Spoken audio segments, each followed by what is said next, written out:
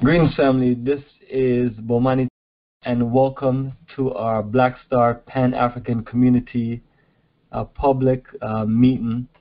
And uh, we're here to talk about um, this, the past, present, and the future of our Pan African community that we have organized there outside of Winneba in Gyaahadze. And what I'm looking to do is share all of the public links from pictures, videos, to details of the community so for those who are not familiar with what I'm talking about, uh, just flow with me and take your time to look through and read through everything and you can also compare it to anything else that's out there. So what I'm going to start with is uh, start with our screen sharing. Alright, perfect. So screen sharing is uh, set and even though this is a primarily audio call, and so for those who can see it, can see it. For everybody else uh, that's on regular audio call, what I'm looking to read from is the newsletter itself. The newsletter is that email that was sent to everyone um, where it say MailChimp, and once you click on it, it opens up into a presentation. All right, uh, family, uh, everything looks good. Um, uh, so hopefully everybody can see from either the screen sharing mode or from the newsletter from their computer. Uh, so uh, this is a continuation from the last conference call we had about um, over a month ago, and this is a reschedule from the last two weeks that we weren't able to do conference call. Uh, so I'll combine this um, public call along with those that are act active members to give updates for the future. So uh, as we scroll down, uh, the first thing uh, you're going to see is a picture with us at the uh, Chief Palace, and this is the foundation of uh, is uh, its settlement. And once we met him, you know, it was in the building stage. so it's not one of the popular chiefs like someone like the Ashanti chief and things like that that have a big palace and all this other stuff. this is um, more in a rural area and more the people that you build relationship with, uh, that you build from the ground up, and you know you come together and work on a certain energy. So for the most part, uh, most most of the time you hear about people in Cape Coast, Elmina, Accra, and so on, and where we are in Gyaahadze, which is outside of Winneba, a chief like um, Nana Haiti that we're dealing with is you know, people pass by, and because if you're driving along Accra to Cape Coast, you know, you're gonna, it's about in the halfway point, you're not gonna think about what's on the coast, so you're not gonna even think about this area, but it's, I've driven by there for over 10 years before I even realized what was going on. You're talking about some of the most tropical, beautiful land as far as the, close to the beach, two miles, and close to a freshwater lake and things like that. Uh, so unless you do some exploring, honestly, you would not find what we're talking about tonight. Um, the land site uh, in Gyaahadze, and you know, some people on this call have been there. Some people are going to be there on our next tour to Ghana in May and December, and some people are getting ready to build and things like that. Uh, but what we're talking about uh, is going to take you back to the summer of 2019, uh, after we wasn't able to work with another group of people to build the homes and build a community that we wanted to build we just put our energy together just to get right to the point on this. And um, I reached out to the people that we have, you know, our contacts and our energy there in Ghana. Um, you know, from being there for so long, you end up just knowing people and understanding how the game works and everything. So I assembled the people that we needed to really just put together a land deal for us and that everybody is going to be working on the land deal, going to be working to benefit us to make sure we have land, we can build, have our peace of mind, we can socialize, we can do a bunch of things we need to do without any kind of um, you know, bureaucracy. You know, that's the thing that you end up uh, dealing with. So that's what we have right now as far as uh, the Black Star Pan African community, and that's without, you know, and it's not without blood, sweat, and tears, and just being there in Ghana and trying to figure it out, and working with so many other groups that talk all this stuff, from popular groups to just groups that say, hey, uh, you know, join us and build a community together. So what you're going to find out that I have is just me just being honest upfront and being as a real person to you, because uh, we're all brothers and sisters, and it is putting everything that I could possibly put together on the website. And also I got additional emails and any document anyone needs, any kind of legal document, everything that anyone needs, whether it's on the email or WhatsApp, I have no problem sending you any of our information uh, because you need to have clarity before you get your mind and energy open into what we're looking to build. And if it was what we're doing was that simple, you'd have all of these energies and these communities come together and build. But the reality of it is you have to build a foundation dealing with people who have a certain like-minded energy. So unfortunately, when you deal with that, it's going to be, you know, some people are not going to be included. And that's when you deal with the frustration of people calling you out your name and from, from racist to this to that and things like that. But what we're putting together is based on us as a group of people who, who spend time traveling back and forth to Africa and say, hey, this is what we want to do. We want to invest our money in the community energy, not to separate ourselves from the rest of the Ghanaians in the town, in the, the community, or in the country, uh, but to put our energy together to offer assurance to those from the African diaspora that you can make your way to Ghana and you don't have to get caught up into land land drama and get caught up into other things. You can come there do what you need to do, get things for yourself built, and join an energy where we are putting our money together along with other people in the country and saying, hey, we're going to build this industry, we're going to work on this, we're going to, you know, because the goal of everything is to be, is, to, is honestly, this freedom. And uh, sometimes you don't know freedom, you know, when all you have known is just oppression. Like life in America is oppression it's you know it could be glitter, glamour, it could be nice, it could be fancy, you could be rich, successful, you can have a lot going for yourself, but your self determination is not there. Where every day you breathe, you get up, all your energy is being contributed to the to the greatness of future civilization of black people. It's being invested in your own people and things like that. And I'm just being real with everything I'm talking about, and that's why everything is out that way. People don't get confused with what we're dealing with. And everything that we're dealing with goes beyond politics, religion, and any individual or specific black culture.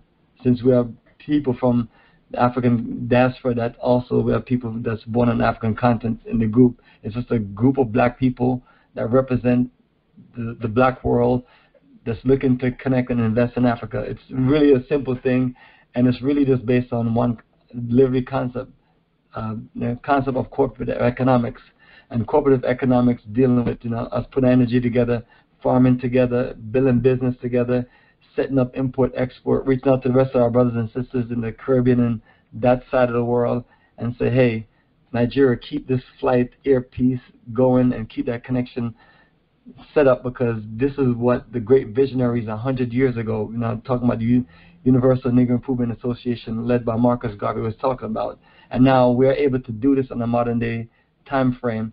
So when you're reading and looking through what we're doing, it's an energy and that's set up there in Ghana based on us in the diaspora to do those things, to make sure that any one of us that's a part of the community, that's a part of the town, we share what we have and no one goes without and everyone has a fundamental part in society to play as far as their contribution to civilization.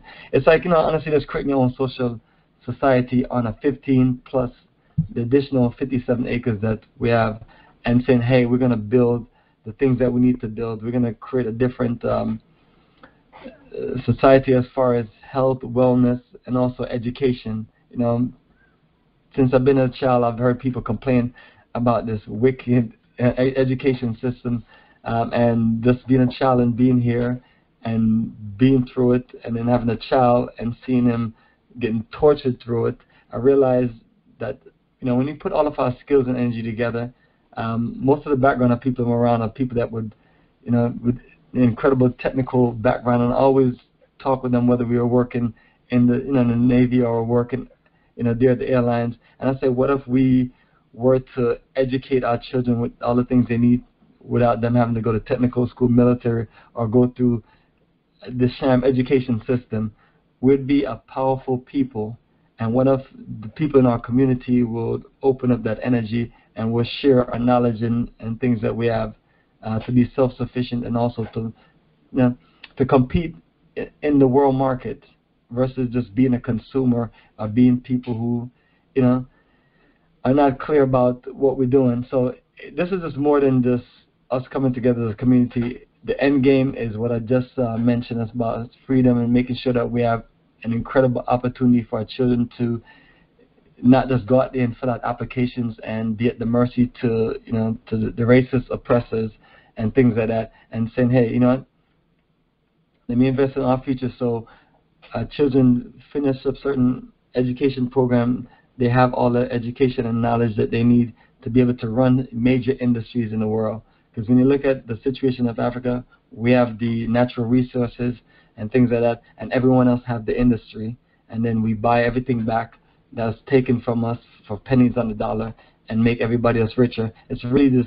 It's kind of like the brain drain, having all the education children, and the best thing that we can say for them is take the scholarship to go to England, go to America, go to Germany, Spain, or wherever. Uh, take this academic uh, scholarship, and the next thing you know, you have the best of your minds gone from your country, your continent, and things like that. So this also is an energy to redirect the brain drain, you know, uh, reconnect the, the best minds back into the African continent for the purpose of you know nation building, literally. Uh, so that's what the, the Black Star Pan African community represent, and represent a collective effort that was put together to purchase land versus going and meeting the chief and saying, hey, we're stolen Africans and we're oppressing um, the African diaspora in, in, America, and we need for you to give us free land. Uh, I've seen many people take that approach. Not saying that's exactly how they do that approach, but uh, it comes out somewhere along that line. And I've worked with uh, one group, uh, Fianco, which the, the land that they were given was free. And I worked with another group, Garveytown, the land that they were given was super discounted. They just had stipulations and both groups, I mean, these are large sums of land, hundreds of acres, um, and both groups, um, and the documentation was part of our tours and everything, so it's, you know, it's written and documented. But, um, and then, you know, you go to them now, there's nothing been developed for us as a people. It's just years and years of this waste. Uh, so if we're going to do this, you know, we have to give our all, and personally, I learned from all of their mistakes because I was there with them. I was the person that could bring big groups of people together to travel with us, and you know that's you know, just like going to a, a certain hotel or going to a restaurant. You know, we have a big bus we can drive by anywhere in the country, and things like that. But it's up to that group to deliver on how we can connect, live, do business, and and so on. Uh, so a lot of things that I'm gathering is based on that and putting it together, and we're still trying to figure certain things out, but we've gotten a whole lot further than anything else that we have seen to where we have people building on the land now. Once we go back to Ghana in um, in the next uh, over a week, in the next 10 days, we'll be able to see a little more development and a better feel of the land as we go for a third time since the inception of the land uh, been reached out to and connected from September 2019. And as I scroll down uh, to the newsletter, what you're going to see is a map of the just the first 15 acres, and it's plotted from 1 to 50. And right now we only have one plot remaining, and that is plot number 18, and 15 was taken earlier. Uh, so, and you know, you may have one or two people that may need to make a move to the next phase and want to release their plots, and especially if their plot has not been surveyed, because right now we're looking to get everybody's plots surveyed get everybody a lease and get them all their legal paperwork so you can start building immediately. Uh, so all the process of doing that over the period of time, things have become clear to where we're there now, where someone can literally connect with us and start building within two, three months. Before that wasn't the case because number one, you have to put the money together, pay for the land, you have to get all of the the legal stuff taken care of, and you have to check everything out, make sure everything connects. You have to have your people look it over, and it takes a good time frame to do all of that. So now that we've done that now, we can just move to the express process. So for those who are coming in now, it's a little simpler. And if you give us about six months to about nine months, especially if people are paying for phase two, uh, we're going to have plots. Uh, we're gonna, you're going to be able to just start building within less than a year on the next phase. Uh, but we can't do we can't do much of anything because more payments have to be made on the land, and we're we're in a good situation where we can negotiate and work it out to get portion access to portion of the land so those who already can start building. So we do have those uh, flexibility, but right now what we're looking at is for people to be open to phase two. And for those who are in our community group, I did post this um, 57 acre uh, plan of land. And uh, I started working with the surveyor to lay out how the plots are going to look, and it's basically another 100 to 120 plots as far as residential, and it's going to be retitled as far as the numbers because we finished at plot 50 for phase one, then. So our goal is to continue 51, and so on, and and go up to about 170. So it'd be a total of about 170 residential plots, equivalent between 70 by 100 and 80 by 100. Uh, it's one of those things that some may get a little bit more, some may just get a little bit less. Uh, I'm trying to get everything equal in that range to where it's between uh, 8,000 square foot um, one way or another, and some of us may get a little bit less and a little bit more, um, and and that's because the way the angles and things are cut, and then streets and things like that. So, trying our best to just whatever we're pushing out and sharing to just follow through as best as possible. And then if anyone have any questions, they can let us know. But uh, this graph represent uh, we have more represent right now showing 100 plots, and when you look at the additional space, about 20 more plots can fit. The next side is what we're going to have uh, for phase two, and I'm going to read out the breakdown of everything in phase two. Uh, yes, and phase two is well over 200 plots, um, and when you add the extra seven acres, it comes out to about 228 plots. But uh, what I'm going to do is just give you a rough draft of what all of these plots consist of. You know, the 120, which is about uh, 30 acres of the actual uh, community out of the 57 acres.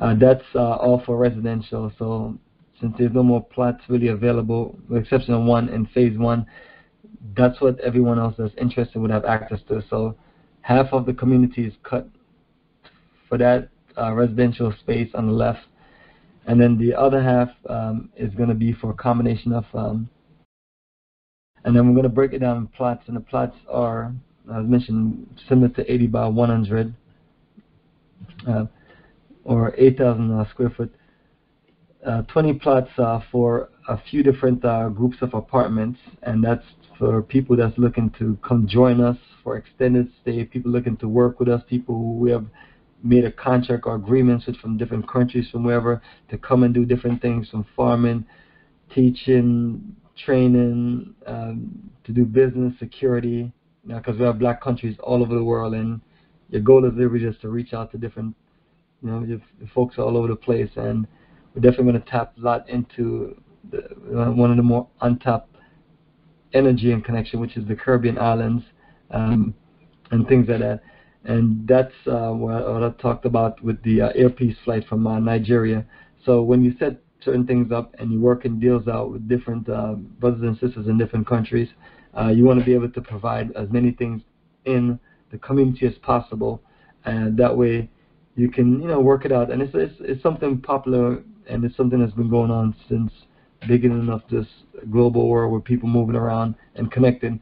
It's just this is good because we as a people can share more of a global black culture and it's not just based on where we are specifically in Africa. Because if you look at the different countries and you can pick up so many unique things from you know from you know, so many different countries and so many different black people have so many different things that they could contribute. Uh, so I look at that as as a global situation where we're putting things together. Um, and that's like one of the, the big thing that um, I talked to a, a private uh, group about when we're doing infrastructure and utilities.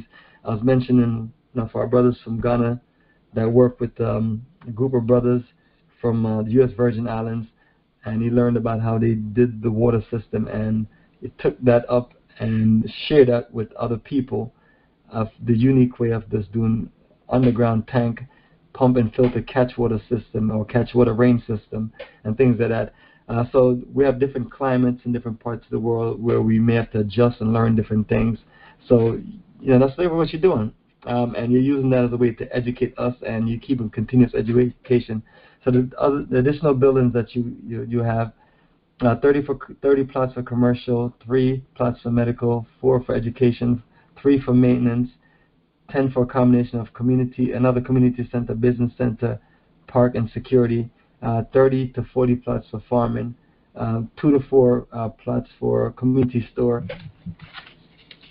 And so what you're doing is creating a self-sufficient uh, energy there. And the biggest thing that we have is the uh, the farmland. And uh, and outside the farmland, what you're looking to do in an entire community is to plant fruit trees around the entire community.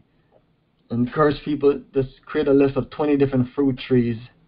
Um, and for those who are from Jamaica or in the Caribbean or in countries like um, the Gambia and so on, or just West Africa, you're familiar with all the natural trees and all the things that grow, and you're trying to create a rich environment. Uh, number one, you want to be able to breathe fresh air. Number two, you want to be able to use some of the the things that you're growing and you're you know from combination of manufacturing to com- combination of the sharing doing harvest with your community and going back to that social economic way of life of how we as a people do things from trading and bartering and and also just you know, the sharing in general.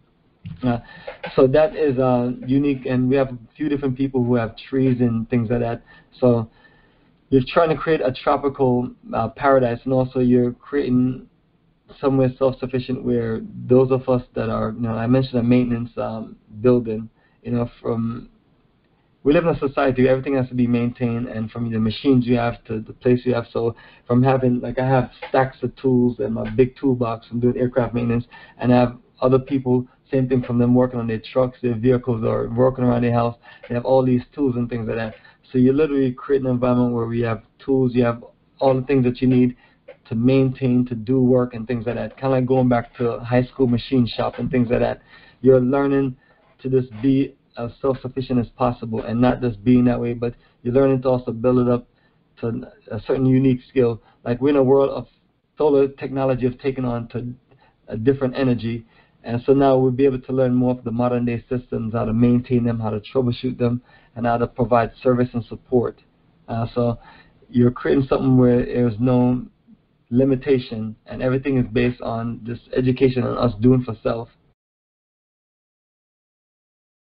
and also this uh, 57 acre will be you know, literally disconnected. So for those who can see this on the screen sharing, you'll see an entrance connection, and that is, I mean, it's literally physically connected. Uh, so we're going to be working on trying to find ways to to put the whole graph of everything together, and when we get a better drone shot or things like that, we'll be able to just create these more uh, more digital and a little fancier as far as this, let's just see how the community is. But the one that I'm showing you is a draft. We do have to reorganize the numbers and do a few other things. But just letting everyone know that we're moving to this direction.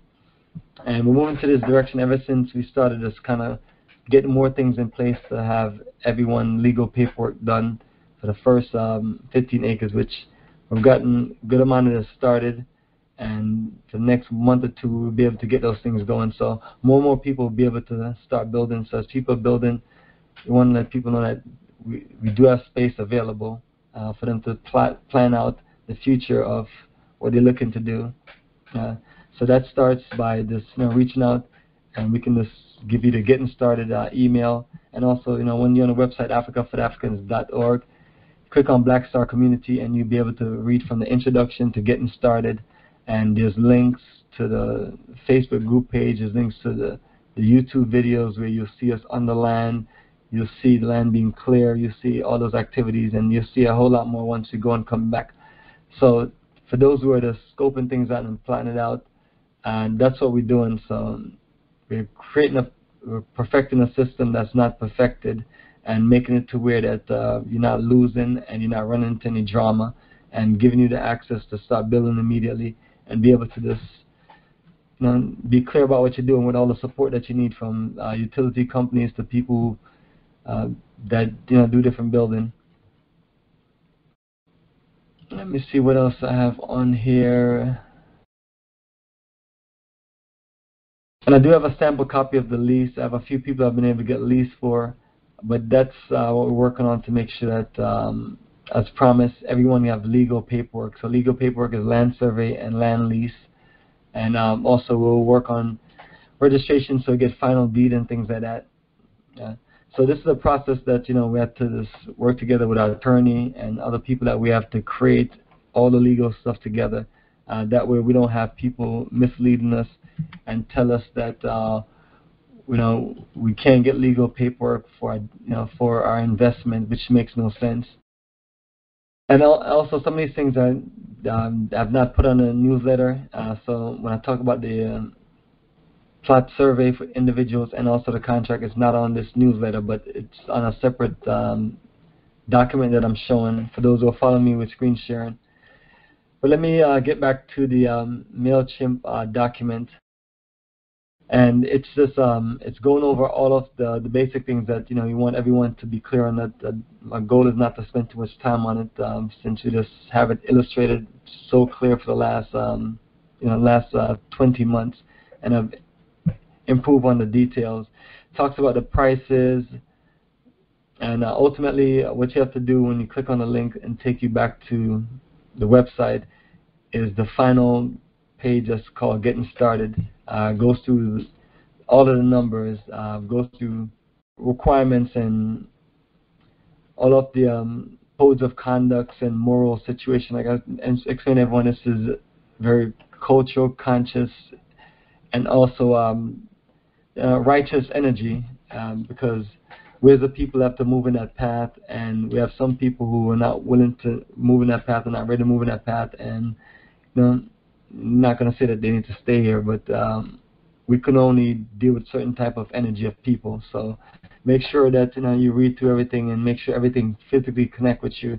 And once you fill everything out, you're the one that determines if you're for this group because you'll feel the energy of say, hey, this is for me or this is not for me. Uh, as we scroll down, um, part of what we're going to be doing more in the future is the different uh, uh, committees that's on there. And as the paperwork talk about, uh, we need everyone to commit to a committee. We did have committees going for a while. We have to make certain adjustment. That way we can start just you know, focusing on the priority of just getting people the things that they need to get to be you know, organized and ready to build. But uh, we're going to be pushing more of that energy together, especially when it's time to really just work on certain specific uh, projects. So we'll read through the 10 ones that we have. Uh, one, business and professional affairs. Two, safety, security, and surveillance. Three, education, cultural, and social affairs. Four, sustainable energy and utilities. Five, medical and wellness. Six, planning and development. Seven, maintenance and landscaping. Eight, waste management and recycling. Nine, agriculture and livestock. And 10, uh, bylaws and homeowners affair. And bylaws is another one of those documents that's on the website link. And it's also one of the sign-offs, just like the community overview is a sign-off, uh, which is basically all of the documents that you're going to read through on the uh, website. Uh, and that is there just to make sure that you're clear about your community contract and clear about what we are committed to. That way we can have no misunderstanding and things like that. Uh, a lot of times it's just, in, instead of us just getting to work, it's just too much unnecessary drama.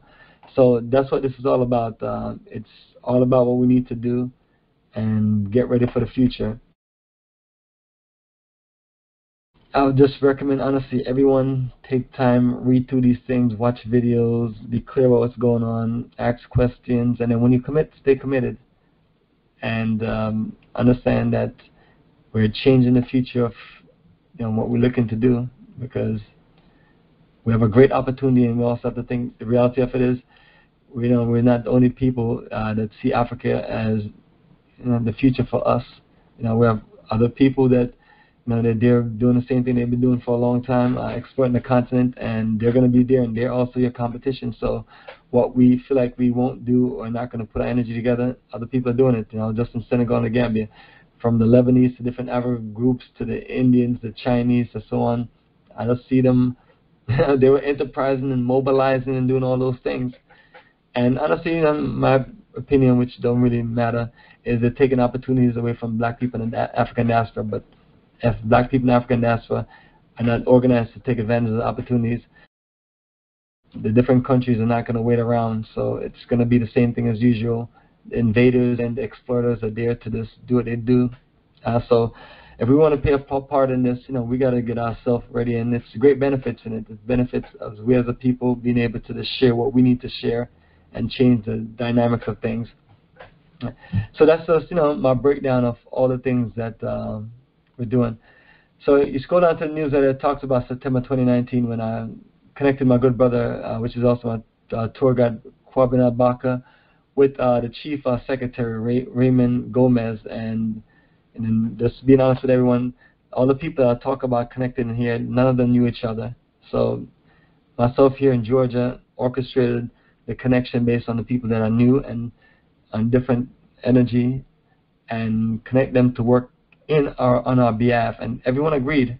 And that's why we've been able to get this done. And sometimes you know we're the people that's got to broker the right deal, and that's the good thing about us as Africans in the diaspora, us on African content. All we have to do, honestly, is talk and have that dialogue amongst each other on what we need to do. A lot of times it's hearsay, he say, she say this, oh, black people in Africa don't like black people in America, and all these things, and you know, you're gonna have certain stupidity like that, but it's like when you go down to the to the, the foundation of it and you actually talk to people who you need to talk to and connect with, you need to connect with, you realize that you know we have the same thing and the same interest in common, and it's to build a future for us as a people, and make sure that we have a future for our children. Um, and most of the people I deal with in business in Africa, we live, we have the same agenda and the same mindset. Um, and are you going to have other people that feel different? Yeah, sure. But uh, just like I don't waste my time with those of us that are not about what we're about in America, I'm not going to waste my time. Same thing in Africa. I'm going to find the best of us and say, hey, where's the black people need to come together, do what we need together, and build a future for our children and the future for our continent, make our ancestors proud, and and and do what we need to do as ourselves and be competitive. And that's what I'm looking to do. And it doesn't matter where you are in the world as a black person. Uh, if you're about what you know we're about, we just need to connect and and do this together. And everything else that you're looking at is just the flow of the clarity of to connect you and then if it connects you let's talk more and let's add clarity because it's this is beyond just us as a group you know it's a global movement and I have friends that's doing different things in different countries now and everything everything is just open up more than just Ghana now but Ghana is still the most important piece in it because it's the foundation. So now you can connect and if you're organized in Ghana, you can connect and do business. Your, your folks in Senegal, the Gambia, not just talking about the diaspora, but just our people in general, Black African people, and things like that. that's why I've you know encouraged you know people to like keep on going. Don't let COVID nineteen stop you. Don't let anything these things get in the way. It's you know, the devil is going to work hard, and you know you just got to keep doing what you need to do and keep fighting. So just go down to this newsletter. You know you see things like the citizenship conference with my good brother Dr. Malana, which I met in 2006, and now here we are in 2020 and 2021 putting together a citizenship conference to help our people from the diaspora get citizenship, which uh, they were able to sign a few people, and a few of us are coming in Ghana. We're going to bring application, and they're going to work that process to us. And Ghana still is that only country that I can think of, and anyone else, you, you guys, please let me know um, if I'm off or anything on that. Uh, whether uh, if I'm wrong about that. But Ghana is the only country that I personally know that allows you to come to the country and become a citizenship citizen based on your interest of Pan-Africanism and African nation building. Uh, it's not so much that I have to have a DNA to say Ghana and things like that.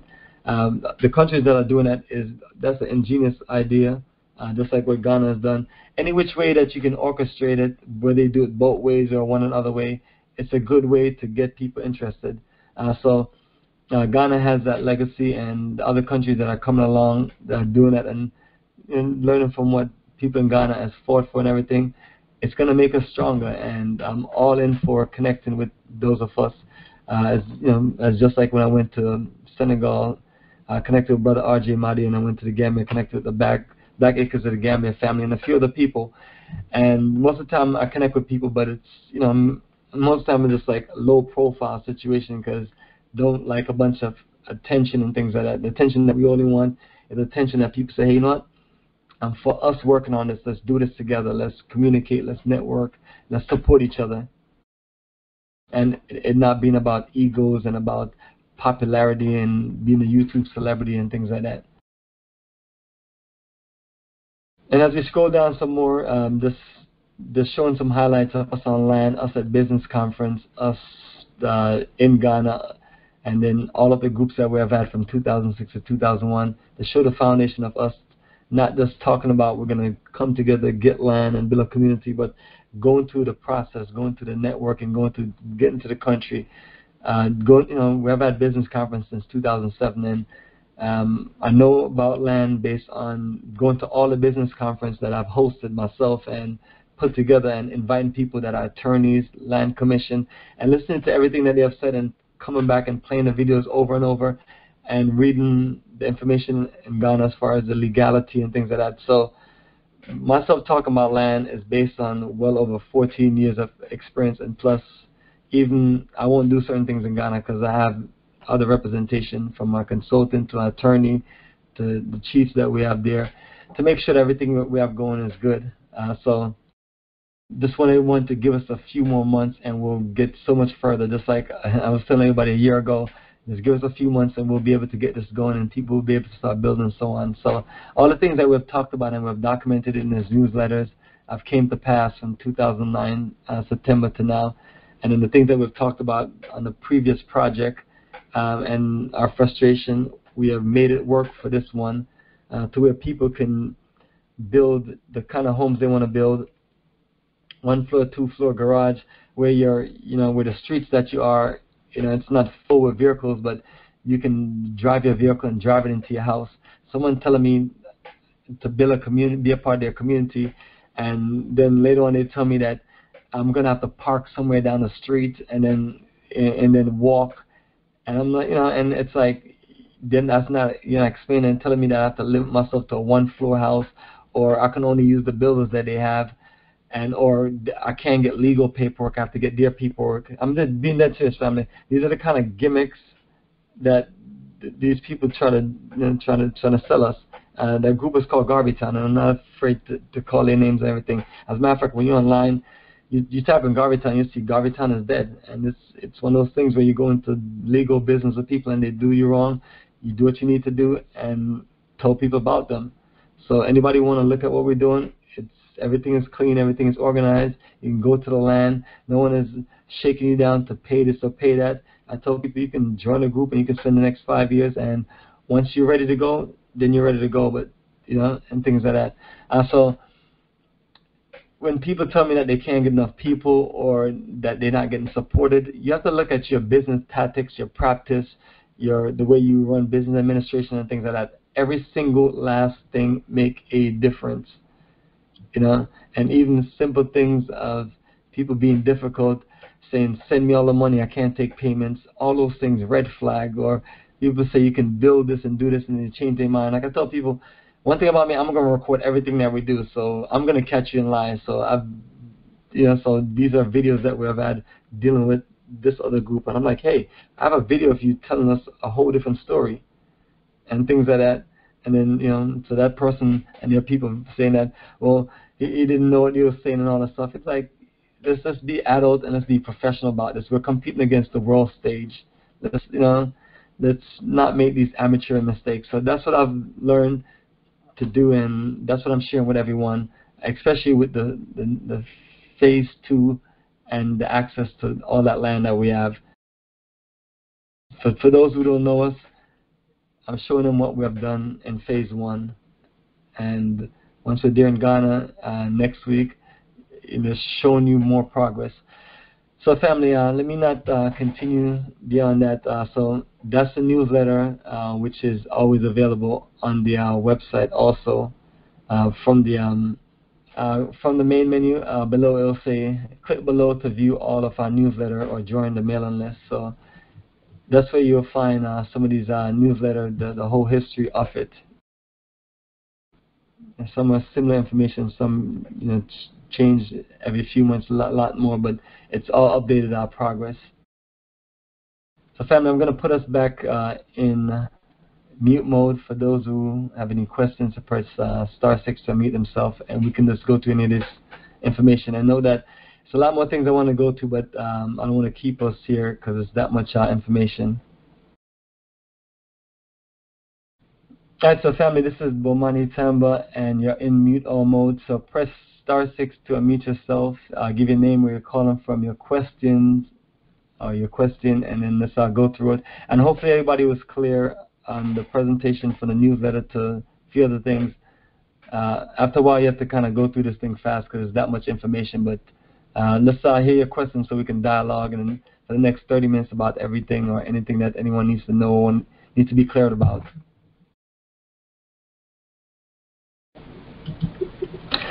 Alright, family. Now, everybody don't be all shy. Well, I just wanted to ask a question. This is Joyce. Hey, greetings, Joyce. Yeah, I was looking at that. I'm in phase one, but I was looking at that phase two uh, diagram of the homes. I think, I think you said there will be a hundred homes. Yes, yeah, uh, a hundred plots, but we do have space to make it between 110 to 120 but what I was literally had to do is we're so behind on all the things we need to share with everyone. I just want to share with everybody a draft of the direction that we're moving right. in. No, but I was thinking, does it have to be so strict? It looks so strict looking. Can't they make it like a, a few cul-de-sacs and fancy it up a little bit? I like your idea. Um, um, uh, it's me and the survey designing it, so I'm open to all feedback uh, because nothing is set in stone at this very very moment. The only thing that's set in stone is the 50 plots that we have. Not even the business center, the community center is set. Those things could be adjusted. So what you see there is um, I can, um, you know, e even if you have some some sample ideas, you can definitely share it. Um, we're at the point where everything is based on feedback and right, right. Um, just, it looks so strict looking. I mean, you know, you, you got your homes going this way, you got your homes going that way. There's like nothing. Uh, it looks strict. I mean, you know, fancy it up a little bit. Yeah, absolutely. Uh, that uh, uh, sounds good, and um, yeah, we can definitely work on that, and then also add the other part of the community, like 10 acres of that to the right side is the farming area. We want to give people access to get their farm on like immediately. Yeah. Okay, that's all I was thinking. Well, well always uh, appreciate uh, your feedback. You always have great suggestions and ideas. Thank you. All right, family, we have lots of people on this call. I'm hoping that everything was clear in the presentation and looking for some feedback and some conversation. All right, I'm just going to just watch the screen until somebody has something to say. Hello, it's Keisha. I'm calling from Boston, and I have a question. I'm looking at the site, and of course, I'm trying to read through some of the information. And um, my question is if a person is not able to uh, follow uh, some of the code of conduct or is reflecting the values that is posted on the site, is there another opportunity for that person to invest um, in the people or the property that will be built by maybe others that may share um, uh, the same values as the other community members? Uh, yes, I'm hoping that the uh, restrictions is not too uh, bad because uh, it's based on nation. But uh, for black people who just want to invest in general, if uh, that's what you're talking about, who just see that uh, that they can build an apartment complex and they they can get a, you know, they can just work that out. That's perfect because we do need people from the outside to just do some of those things. The only thing is just you know we have to, and as a community, we're going to negotiate to get something from the deal to go back to the community. But yes, definitely looking for outside people, for um, black people, uh, to literally just invest in what we, we're doing and for us to you know work with them in different ways, especially when the time comes where we're going to have to do something about the uh, the beach we can't just let the beach just sit the way it is and just be natural and be in its natural habitat. We're gonna have to invest in it to make. You know, I'm not saying we're gonna make it look like Negril Jamaica or somewhere, but you know, we have to think in essence of that um, also. And for those who can build shops, stores, and build certain things, uh, you know, you're definitely going to look to have outside of your community members. So I'm trying to build a good relationship with what we have here in the African diaspora in America and so on. Click On a button and you can de-zombify 10% of the population of black people here. We're good to go in Africa.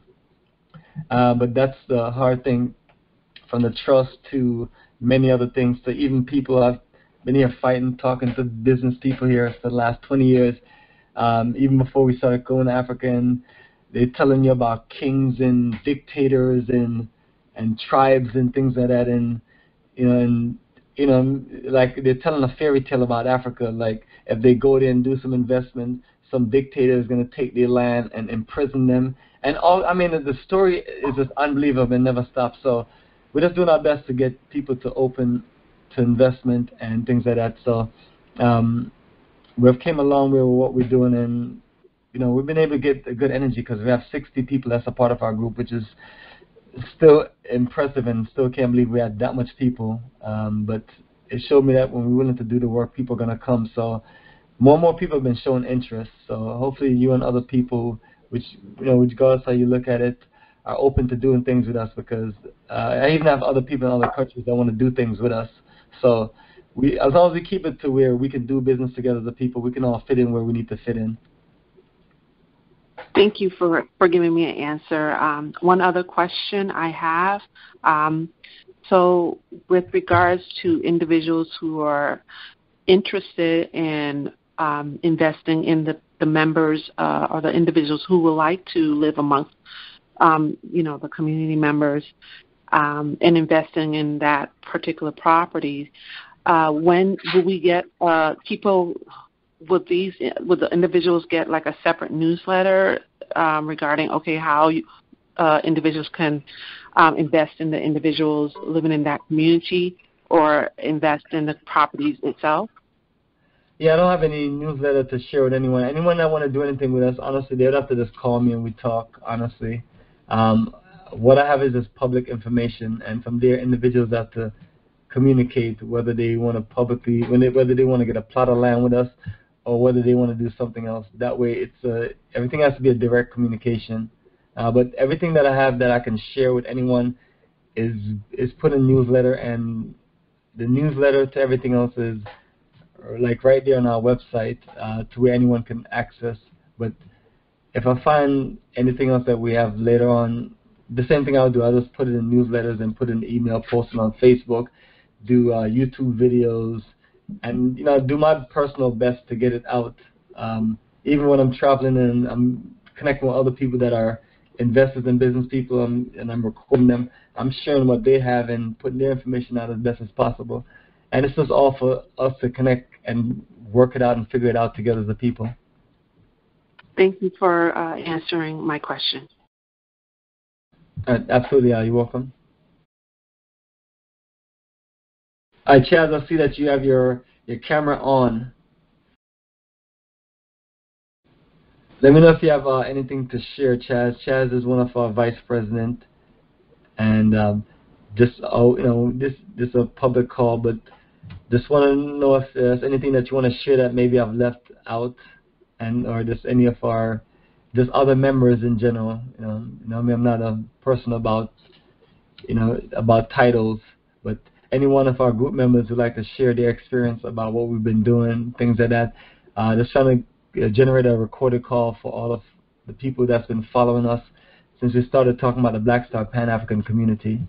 Um, and just want to let people know that we're building right now, which is, and we're getting all the legal paperwork and things like like that. So everything that we've been sharing with you, we've been following through and doing the best we can do and keeping it up with everyone. And anyone who wants to be a part of the actual WhatsApp group page, just need you to fill out some of the, the paperwork and let's talk. And let's add you to what we're doing because we're gonna have a whole lot of updates coming up in the next few months. I just wanted to ask one more question. Uh, sure, go ahead. Um, with the original bylaws, who came up with those bylaws? Uh, the uh, homeowners association and the bylaws committee. So the committee of about seven of us. I wasn't a part of that group, uh, but um, Are, are those same people still in the group? Uh, unfortunately, no. Some of them are. Um, some of them are, and that's what we have been through. You know, and you know, I appreciate people because people have been helpful to put things together. But you know, we are. Since you you you you've been watching what we've been doing. We're slow uh, from the, from the people that we haven't gone into everything, but but also have you seen things have been progressing, even you know, things like that.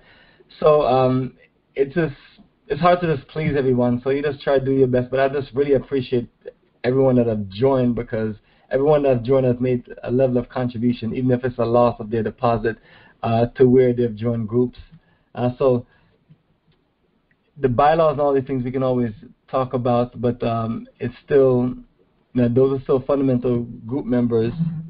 Um, but anyway, uh, let me know if you have any questions about the bylaws or, or anything, or if something is clear or not clear in the bylaws, or if we we need to like revise it. Oh no, it's, it's clear to me. It's just that I, it's it's just one little thing in there. I, I just um kind of troubles me, but oh, go ahead and let me know. Uh, no. Are you going to send me a separate message. You know, like they say, don't ask, don't tell, something like that. Yeah, we do. Um, beyond the bylaws, the bylaws are just the homeowners and stuff, and it's it's more like um, a foundation. But in the community overview, the community overview have um, the people who are not, you know, or not, or the community is not open to, since it's a Black Pan African family community, and then it's just honest and real about that. Uh, so. Uh, and things like that, and you know, so for people into interracial relationship and things like that, it's just not what it is. Uh, even the tours that we do it, so you know, it's like it's you know, uh, you know, those things and Well, all those things are based got no on what members agreed on. Okay. yeah, I got no problem with the interracial business.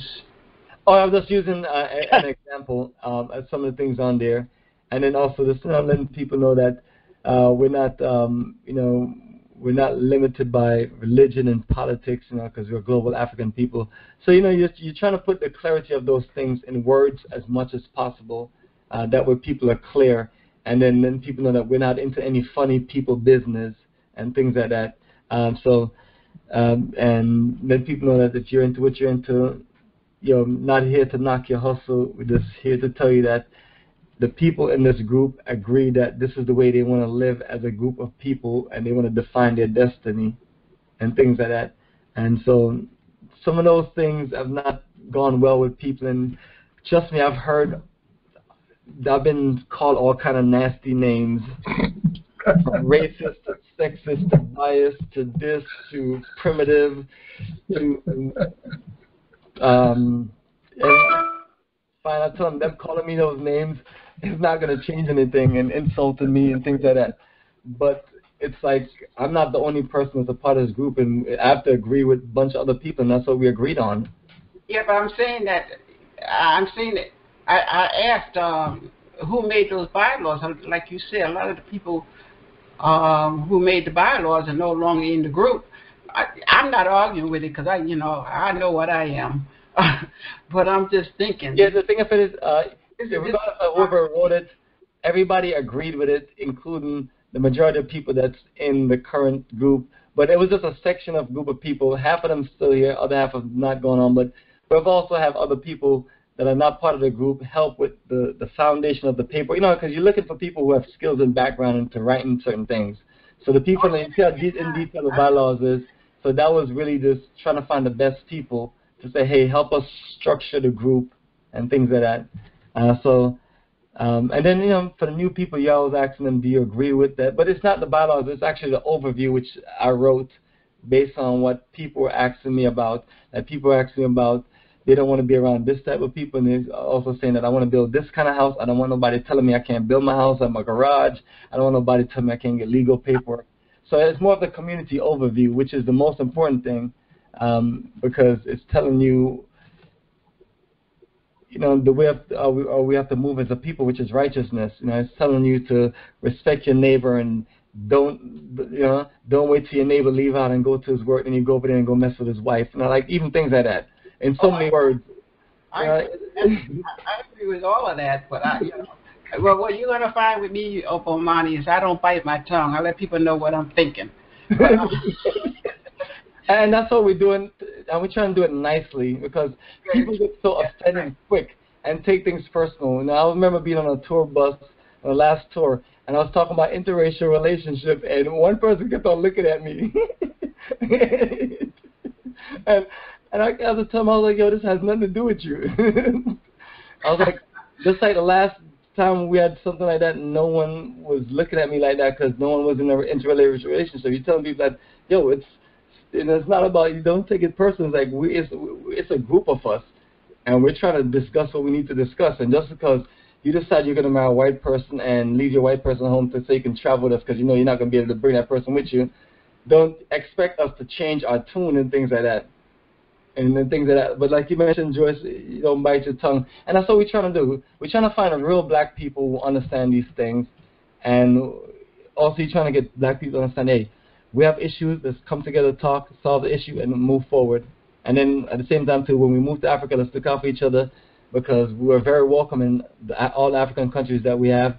But we understand, just like if you move into different parts of the U.S.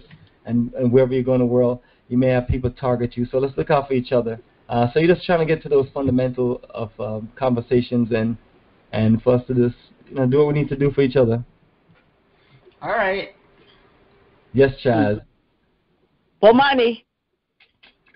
Uh, yes, greetings. Yes, this is uh, Akubi, New York. Long time. Long time, long time. How are you? I didn't forget you. Yes, the question. Um, did you say something about when I know it's going to be a while before you all start getting schools and all that stuff together. Did you say that you will be recruiting um, diasporas that will probably be living in Ghana that's not in your particular, you know, group in that area, staying where you all are staying? Exactly. Ed- educators, teachers in general. Um, yes, example, yeah, and I appreciate um, uh, you just inquiring about it. Let me just try to see if I can do a quick overview on that. Yes. Clear on so the, the goal is what you're trying to you're trying to find all different means to make the community work. So part of making the community work is basically saying that hey, we're gonna build an apartment situation to where uh, you can recruit people, whether it's for six months or one year, or people who just have the the energy to say they want to come to Africa and they may not just have fifty thousand dollars or whatever the amount of money to get there to build a house and everything, and they just you know they want to be able to have some accommodations and be able to work with us as a people. Like you know it's like maybe someone is uh you know is a mechanical engineer and we need someone to you know where we can record a course with them and then for them to teach certain things you know you want to be able to provide that so you're trying to not limit yourself to the people that you have in your community just like if you can get people willing to send your children over to be a part of uh, you know the group that build farming or build certain things you'll do that so and none of these things are in concrete but that's what the goal is to do uh, so okay. we can have from investors to build a complex for that, and for us to work out certain things to make sure that they're accommodated. Um, I'm definitely open to that. Okay, that that's still that, that applies also to a diaspora that's um, maybe living there at the time also. Yeah, the thing of it is, yeah, I mean, I'm one of the people that don't limit myself to. To, I'm trying to, you know, you're trying to find honestly, you're trying to find the best people in the world, the best black people in the world. Right and then you're trying to get also a combination of different people from different places, so we can also share the culture where we're from with each other. Uh, so it's definitely more for um, folks in the African diaspora looking to do a big reach out to the people in the Caribbean islands, which may have a good access now to come to Ghana. A lot of times uh, they haven't been able to get on flights. Like you know, for those of us who live in America and we have American passports, we can go to Africa anytime. For those of us in the Caribbean, uh, you have to get access to transit visa from America to Europe or go to somewhere in America or Europe or Canada to get to Africa, and it's been it's been limited. Uh, so you open it, but you know it's you're opening up to every everyone, um, black folks in America, um, especially with with people who have incredible skill background. Um, like like say example, someone is a, um, a training background as a pilot or mechanic and then you know we're trying to get access to simulators to train students because uh, the world is going to be flying all over the place and things like that. That'll be ideal, and you make the accommodations, you make the deal, you let the person know, hey, we can do this on this end of the money, and you may have to put this together, and we can get you a ticket and so on, uh, based on agreements, and in a more developed program. But you're trying to create those programs because some people you're gonna have to make that deal with to get some of the best of us in that situation. You may have somebody that's retired from the military and just have 30 years of great skills, and you may have to just work something out to convince that person or just make it open to them that, hey, we have children in the community that normally wouldn't learn these kind of skills, and we're trying to make it more open to, to where the children in the rural areas in like countries like Ghana can compete more in a global world. Right. I, yeah, like I said, I was uh, yeah asking that because I'm in the education field, and so a lot of people that I know have already retired, and other people are retired by the time all this you know come together. And some people would like to come and stay for like three or four months. Others want to stay, you know, come and go. And then by that time, I should already be down there on the ground as far as living. That's the goal for us to go back to stay. You know, so our our things are being arranged as we speak. So that's why I'm asking all that because I do have a background in that and in business and finance.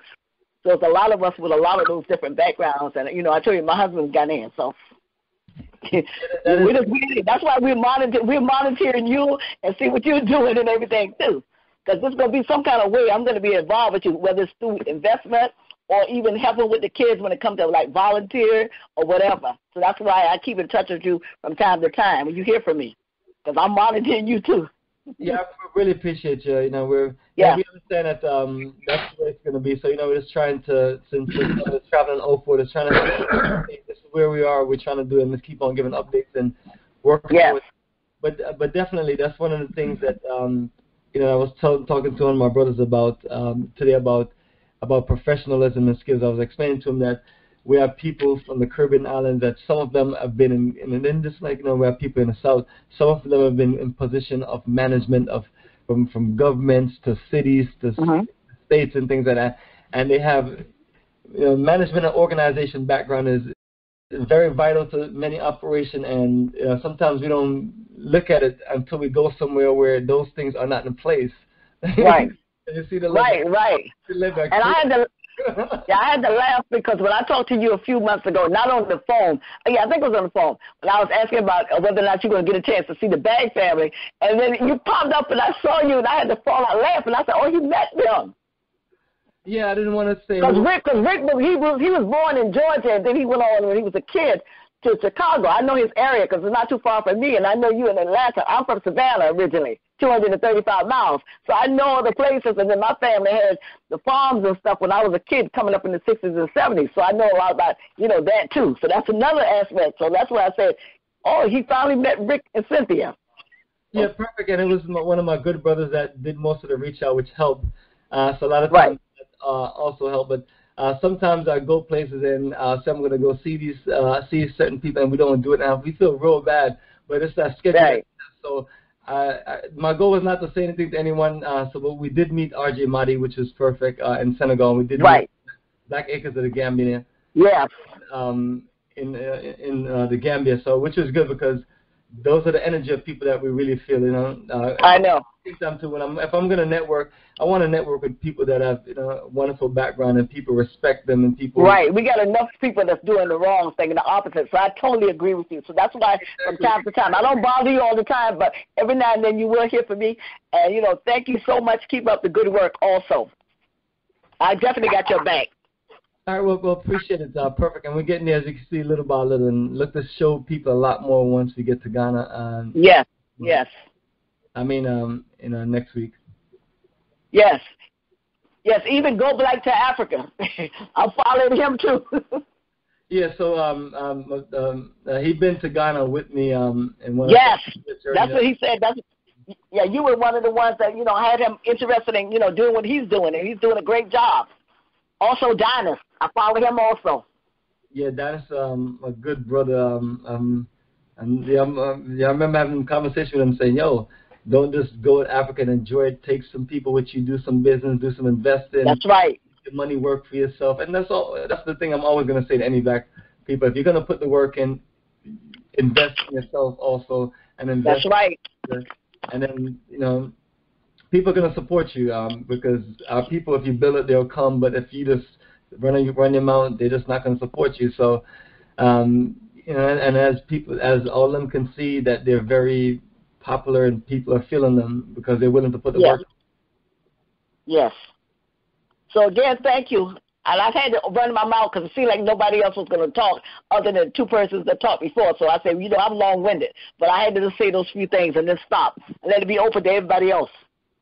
I will appreciate it. Um, yeah, appreciate it. And uh, that gave you know gave me a little energy to give clarity of what we're really doing and everything. So perfect. So that works. So thanks Yes. for your questions and your energy. Thank you so much. And let, let my students say, everybody else should talk and don't be scared. There you go, family. There you go. So perfect. So family, the line is still open. Um, just uh, press star six to meet yourself, and uh, let's uh, talk. All right, so family, we're talking about the Black Star Pan African community. Um, talking about um, our future of building this uh, 15 plus 57 acre community, uh, which we have a whole lot of videos and pictures to show you the foundation. If you've never seen land from the bushes to being cleared to being set up for building and houses going up, uh, that's what we're here to share with you and let you know because um, that's what we had to do. And by us doing that, we've educated each other. Uh, Brother Chaz, uh, would you like to share some words or anything? Um, not tonight. All right, so fam, I'm not sure. We have a lot of people on this call and um, trying to get some questions or anyone to share any information. Uh, we're not going to have too much of these calls. I'm doing them less and less, uh, but um, you'll keep getting information after information. And the next set of private conference calls we're going to be having is talking about more of our utilities and infrastructure and financial layout to develop our community in general. So a lot of what we're doing uh, deals with critical thinking because um, you know, we all have to put our minds together to come up with a solution that works for all of us. And um, and when those thinkers and decision makers, but don't want to make decisions for all of us. Uh, everything we do is a group energy, whether it's just a board group energy or a few of us coming together. Bomani, I, I have a question. Uh, sure, go ahead.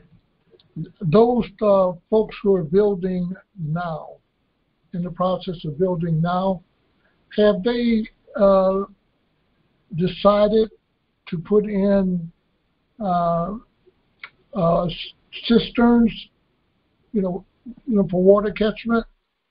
Uh, yes, uh, that's what they're discussing, uh, especially since we've been beating that uh, across the people over and over. Uh, let them know that you know there's a water issue in Ghana, and the best thing to do is just have a one-year supply of water that you can just use like you used to using water. Uh, so uh, the group did agree uh, to doing it as far as uh, the Kingsley group. So they're going to be working with the builders to put those systems in. So I'm looking forward to recording it and sharing it with everyone else because it's something that if we're in a country that, like you put in your report, that rains as much as it rains in Ghana, why are we dependent on you know wa- water pipes and everything? Happy to be able to you know for us to talk and share with everyone that this is the best solution for us based on what we know of as far as Ghana. But I, I know that Carmen and them. I'm, I'm just wondering, you know, are they making it part of their um, uh, their building site? Uh, uh, you know, whether they've decided already, you know, decided yet to make it part of their um, building site. Uh, they have been communicating with the the group that uh, we introduced them to. Uh, so they're working it out, and their their builder say that he's open to learning. So we're about to, you know, push this thing to another level where we're going to encourage people to do that. I just I hate to see like I think one of our members, I'm not sure if she's on here, that just moved to Ghana, Shelly. She was telling me that she has no water already. what? so, and then one of our other members, as a matter of fact, I'm gonna, I'm, I'm hoping that you can. There is you go. Yes, my brother. Uh, I'm gonna see if I can unmute him. Uh, yes, my brother uh, Charles. Uh, um, if you can be on standby to share with us the reason why we need to be sustainable in Ghana and your experience. Yeah, hello, is that Bomani? Yes, this is Bomani. I'm here with my, my other brother Charles Loman. Me and Charles Loman were talking about um, the, the, the, the cistern, the water tank system. Uh, he sent me a diagram of one above the tank, and me and him have been talking about the underground tank and you know above ground tank. So it's the water system that could be built regardless before your home start or after. Uh, it you know it's you know very universal. But the thing of it is, you have unlimited supply of water. But yeah, share with us uh, your experience in, in in Ghana and what you see as far as not being sustainable and having all this backup power generator water, all the stuff that we talk about. Well, as you know, Bomani, I was with you guys on the tour, December 2020 tour, and I stayed back, you know, um, for an additional uh, four months. And uh, you know, while we're at the hotel, we were kind of insulated to uh, power outages and water issues at you know the different hotels we were at. But when I moved, I stayed in Ashaley Botwe for about maybe 20 days, and that's when the reality kicked in that you know the infrastructure was really weak. And it wasn't really too too bad in Ashaley Botwe, but when I moved out of there, it was the Airbnb. But when I moved out of there and I went to West Legon, the really nice neighborhood, that's when it really really got bad. The power outages sometimes it was all like three in a day. Sometimes they would go out at night and they'd come back early in the morning and then they would go out about maybe noon and sometimes come back in the afternoon and the water was the main one because I mean you really can't do anything without water. You can't even make a cup of coffee or anything. You know, there's times when I was in the shower and I was soap up and I gotta I gotta dry off all the soap and come out and hunt down a caretaker.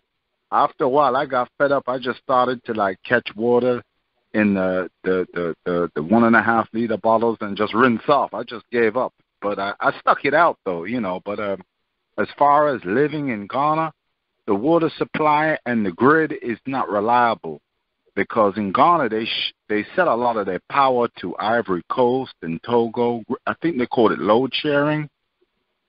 And as far as the water is concerned, the particular uh, uh, property where I was staying in, is just that the owners just you know they they just didn't care about you know um preserving water in the sense where they had a borehole and the borehole was dug years ago and um it was just a matter of for them to just um connect the, the electricity to the pump so they could pump the water out into the poly tanks on the roof and uh, the lady just wouldn't pay the electrician and she wouldn't pay the plumber she just mm-hmm. refused to pay them. So they kind of like just got fed up and just, you know, walked off the job and called it a day. And um, I remember even the borehole company who who did the who dug the borehole, they came back and did a fracture, and there was a lot of water in there, but she just wouldn't pay a hundred cedis to the electrician for him to wire up the borehole to a pump to pump it to the poly tank. And it was the same thing with the with the plumbing issue. She just wouldn't pay Whereas, like a lot of the other properties on the street, they had uh, water constantly. They had backup power. But this lady, when I confronted her about the power going out, she was saying like, "Oh, I'm I'm I've, I've imported a generator from America." And I said, "What what the hell are you talking about? Every corner in Ghana sells generators." well, what the hell are you talking about? You've imported one from from United States of America everywhere sells generators, and and the, the generators they're affordable. Then I even tried to start schooling her about maybe getting solar panels, and she just looked at me like I was crazy.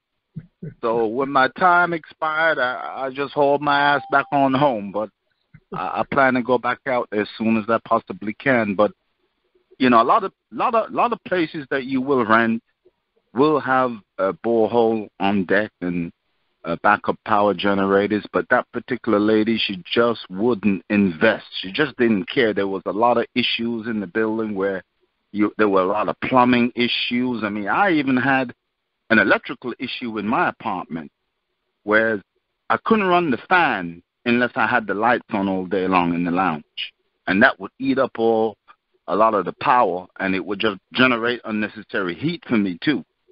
So I couldn't get any any kind of cooling down in the lounge, and there was no AC in the lounge. There was only AC in the bedroom.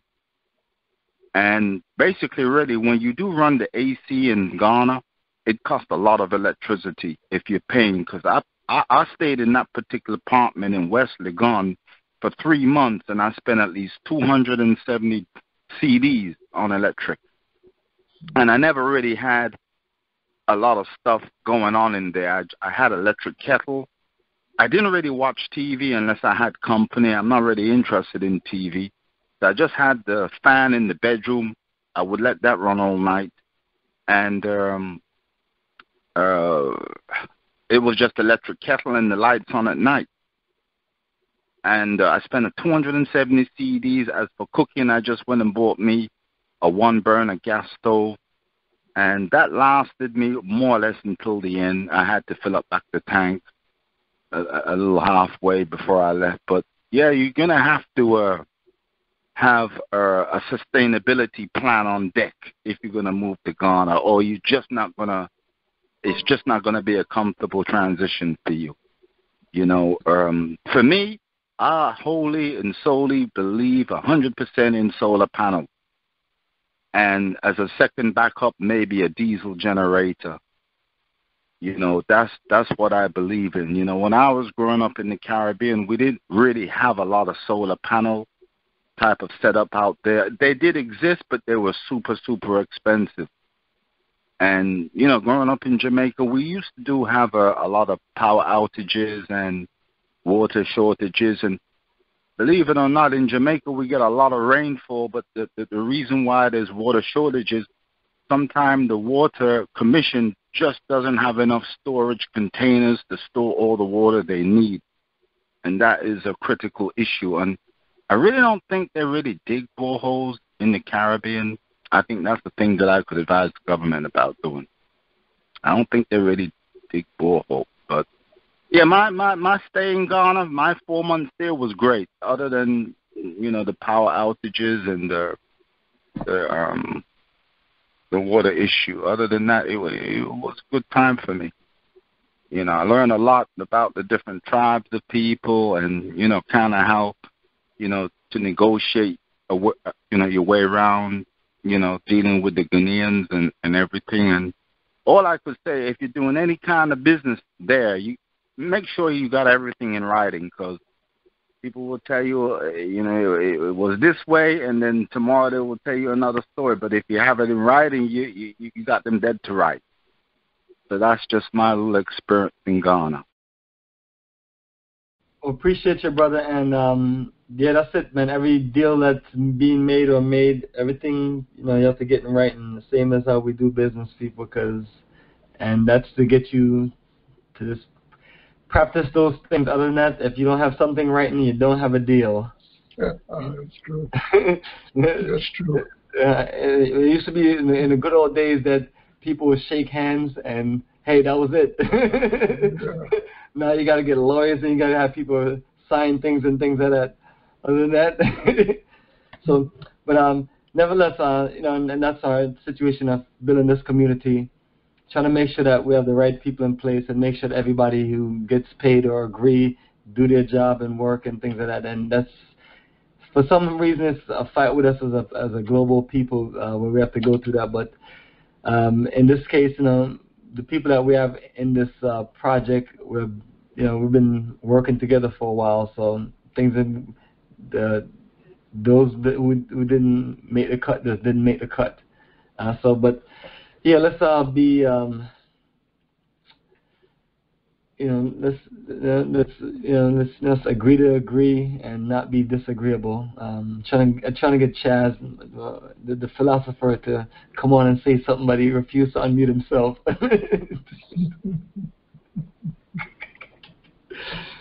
How y'all doing today? We're greetings, Chaz. We're good. Chaz, family, this is Chaz, one of our vice presidents. Say some good words, my brother. Man, I, I mean, um, I just I'm just an umpire in this life, man. I just call them as I see them. You know, what I mean, you know, we're going over there because because of the brain drain. We're just returning the brains back. That's all. You dig what I'm saying? We just returning the, the, the brains back. Uh, you know, we, we're putting the brains back where they belong, where they can do the most good. So that's the cool thing about being in this at all is that that, that we get a chance to do some stuff where we get a chance to contribute the best versions of ourselves to the people. We get a chance to really to really test ourselves and see what we can do. And I saw somewhere somebody made a um, comment about the we're the first people that, that the folks is coming after. But that's kind of cool because when you think about it, we're also the last people to make a stand, make a stand about freedom.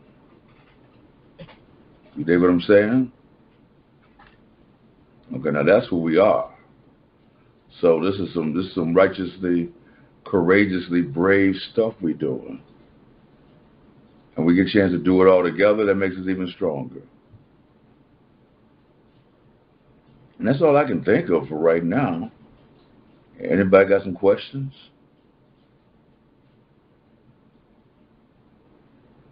Okay. All right, keep it down now. All right, anyway, that's about all I can say. If you have any questions for me, just um, WhatsApp me or something and or call me up and we can wrap. Anyway, certainly um, thank you very much, sir, for uh, bringing me on to say something that was hopefully significant and relevant to the people. Can you hear me at all? Uh, yes, hear you loud and clear. All right, good enough. All right, y'all take care. I'm about to mute myself until I think of something else. Well, uh, appreciate uh, Chaz. Thank you for uh, sharing and things like that. And also, family, um, all the things that. Wait, one more thing. Thank you for sending that document to me, man, with my with my stuff on it. Yeah, perfect. If you want to share it with the rest of the, with the rest of the people, you can. Uh, yes, those are things uh, we were talking about earlier, uh, which is. Okay, yes, yeah, you were kind of breaking up in um, the first, uh, quite a bit of part of a good part of me, a good part of the uh, the reception on my end. So, I got pieces and and and and, all that stuff. I figure you could fill me in later. All right, I'm going again. Yeah, just uh, letting everyone know that um, we have our lease. We're organizing along with our land uh, survey, and the, the land survey we have to get the the data from the land survey to put in the lease. So, and um, the lands commission, if there's a mistake or something needs to be changed, you have to resubmit it and things like that. It's um, very painful, honestly. yeah, but uh, I've gotten more and more back. Um, so we're getting there. So the goal is to create a perfected perfect a system where those who are interested in traveling, living, doing business can come and connect with us, and we just help them get all these things organized ahead of time. Uh, it's not going to take forever. This is the you know the growing process we're going through for the last 20 months. Um, it's a whole lot we're learning about um, these things, and it's not like one you know one one or two of us getting a piece of land. It's a whole group, uh, which complicates things a little bit. But at the same time, to building the management and organization system is what's going to get us uh, where we need to get to. Uh, so right now, that's the best thing we can do. We can practice the flow of how we're doing things. So far, so good. Uh, things have gotten just better as the period of time go has gone along. But I'm trying to hear back from some or a few other people. We have a lot of people on the call, and I don't want to be just be talking. Trying to get people questions, feedback, especially from uh, current members. Hi, Bomani. This is Ahuva. Uh, greetings, Ahuva. Uh, how are you? I'm good. It's good to hear you. Uh, I, I just wanted to commend you on on the job you're doing. You're doing a great job. We we kind of listen to you in silence, but uh, we we monitor you and, and and follow you. So you're doing a great job. But don't ever be discouraged. Uh, yes, I appreciate the energy. I just uh, trying to do what it takes to escape from this um, place to where you can enjoy the freedom you need to enjoy. Yes, Uh, I understand. Yeah. I have a question though. Um, um, as far as the once the uh, property is developed, is there going to be like um, some source of upkeep and um, I don't know if there's a, um, if uh, uh, any type of uh, I know you said there was not going to be a, uh HOA, but um, how is the upkeep going to be done as far as the grounds and things like that? Yeah, um, the the numbers that we talked about in the past was about twenty to thirty dollars, but probably closer to twenty dollars a month. Um, and uh, we're just working those things out to pay for what it takes to maintain the property, and then us uh, taking time and taking turns volunteering, uh, because that's what's going to make this project uh, cost effective. You know, we're going to have to all volunteer on many things, from farming to digging to building to cleaning up to maintaining. And then the other thing is um, we're gonna have to get to a point where we're talking about the development budget, how we can put our money together to develop the community as far as lights and roads and sewage and things like that. Um, uh, so those are the things we're in the mix of communicating about. Uh, but yes, you do have uh, that cost.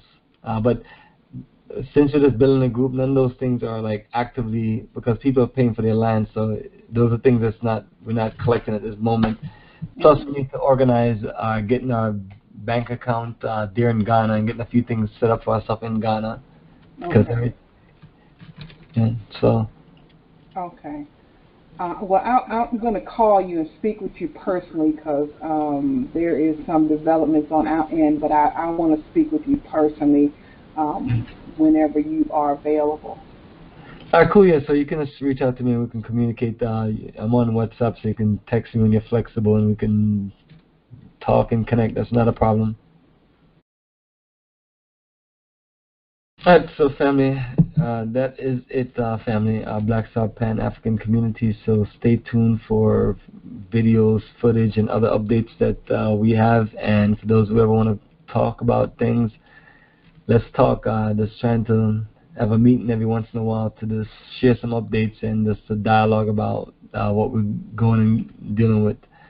Uh, so next time we communicate, we'll be able to just let everybody know more about our lease, our uh, plot of land uh, survey, um, the utilities, the infrastructure, and so on, and how we're gonna, you know, work on different financing. And for those who have certain backgrounds, um, you, know, you can just reach out as far as this, uh, who have just different ideas of how to fund certain aspect of our project, where we don't have to just come out with everything just out of our pockets. Open to different ideas. But that's it, uh, family. I want everyone just to just enjoy the rest of the night, and I will definitely just keep everybody posted. Uh, that's all I've been doing since we started is just send out emails and send out updates, so nothing uh, will, will change. Uh, just looking for more commitment for phase two. Uh, Philson, uh, go ahead. Oh no. Um, can you hear me? Uh, yes, I can hear you loud and clear. Okay, okay, okay. Um, I was just, I guess, press this in thing. Yeah, I want to echo what the last person said. Um, uh, the, the work that you're doing is a pretty good job and important as well.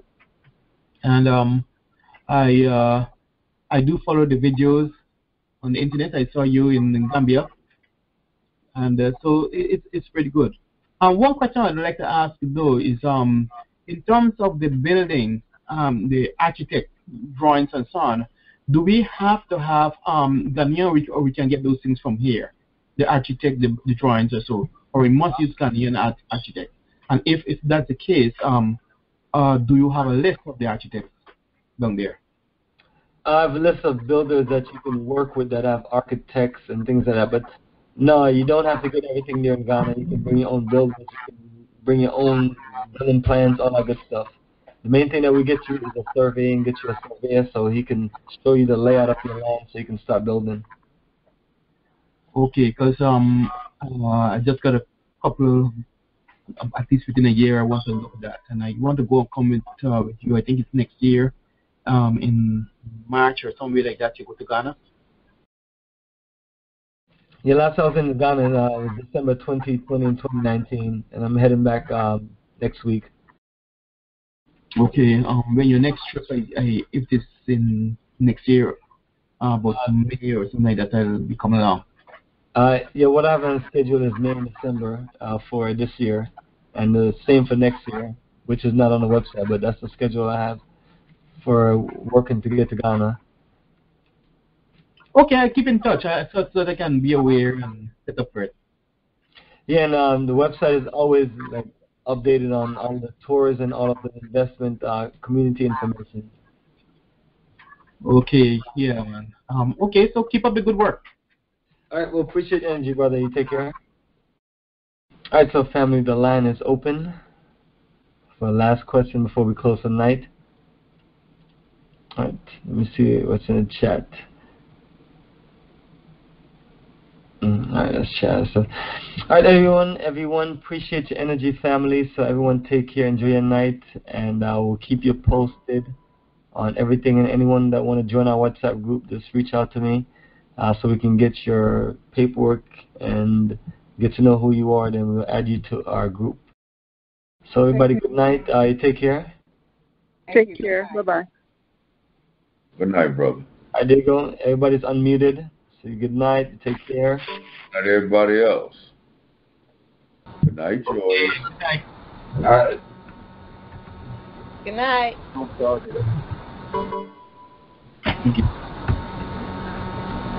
Night, brother. Just Good night. Good night. Good night. And good night. Good night, Chav. Good night. Good night. I said, don't come now, but that's what that's fine.